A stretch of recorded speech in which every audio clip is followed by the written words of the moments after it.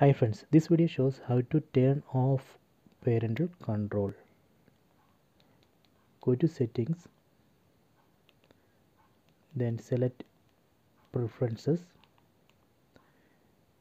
Here we need to enter the password 12341.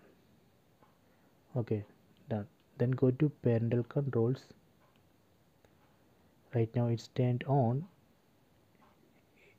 I can press again and turn that off.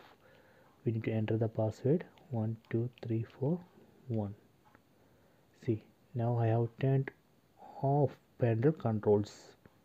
So this way we can turn off parental controls. If you want to turn on again again press. We need to enter the password see turn on.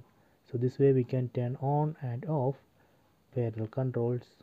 I hope you enjoy this video. Please subscribe my channel. Please like and share the video